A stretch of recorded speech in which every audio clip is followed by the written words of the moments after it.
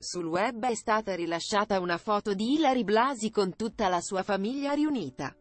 Ecco lo scatto che ha fatto commuovere tutti. Ilary Blasi in questi giorni sta facendo i conti con le dichiarazioni del suo ex marito Francesco Totti al quale ha risposto con una frase molto enigmatica che ha aperto altre mille indiscrezioni. L'ex calciatore in un'intervista rilasciata a Il Corriere della Sera ha ammesso di essere non essere stato lui il primo a tradire ma di aver scoperto che la conduttrice frequentava un altro uomo. Ilari Blasi, lo scatto che ha fatto commuovere tutta Italia. Inoltre, ha aggiunto che lei è stata assente dalla sua vita in uno dei momenti più tragici che abbia mai vissuto e che non le ha dato le attenzioni che cercava che invece sembra gliele stia dando la sua nuova fiamma Noemi Bocchi. Nell'intervista, Totti ha anche affermato che Ilari Blasi assieme a suo padre ha svuotato la cassaforte con la sua collezione di Rolex e che la donna non ha voluto accettare la proposta di vivere sotto lo stesso tetto per amore dei figli. Da parte della Blasi è arrivata una replica in cui afferma che se dovesse parlare, rovinerebbe una cinquantina di famiglie, senza specificare cosa volesse davvero dire con queste parole. A metterci del pepe è stato anche Fabrizio Corona, che ha affermato che i due da sempre sono una coppia che hanno commesso dei tradimenti l'uno nei confronti degli altri e che si sono mostrati diversi da come sono in realtà nel privato. L'ex paparazzo non ha un buon rapporto con Totti e con Hilary per via di essere stato l'artefice della notizia riguardante il tradimento dell'ex calciatore nei confronti della conduttrice nel 2005 con Flavia Vento quando stavano per sposarsi e per diventare genitori. Nonostante sia l'avvento che Totti hanno smentito la notizia, Corona ha sempre detto che i bene informati sanno tutta la verità sul caso in questione e in questi giorni sembra essere deciso a buttare giù la maschera dei due ex coniugi.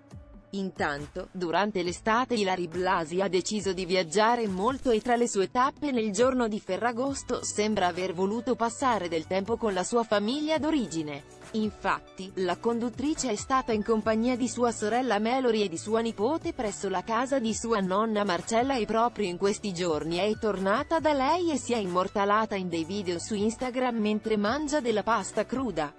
La riunione di il ritorno di Hillary nei paesi d'origine della sua famiglia ha coinciso anche con un evento molto speciale che ha riunito tutti quanti i suoi familiari e la foto che sta facendo il giro del web ha commosso tutti quanti. Nello scatto possiamo vedere zio Stefano al centro con una bellissima torta di compleanno e attorno a lui tutti i suoi parenti tra cui le sue nipoti con i rispettivi figli, per un tripudio di bellezze quasi tutte caratterizzate dal cappello biondo. Sebbene la foto sia molto commovente, in molti si sono accorti di un particolare, ossia che tra i familiari nonostante raffigurano Chanel e Isabel manca proprio un elemento fondamentale della famiglia. Stiamo parlando di Christian Totti, primogenito dell'ex calciatore e della conduttrice che non ha preso parte ai festeggiamenti.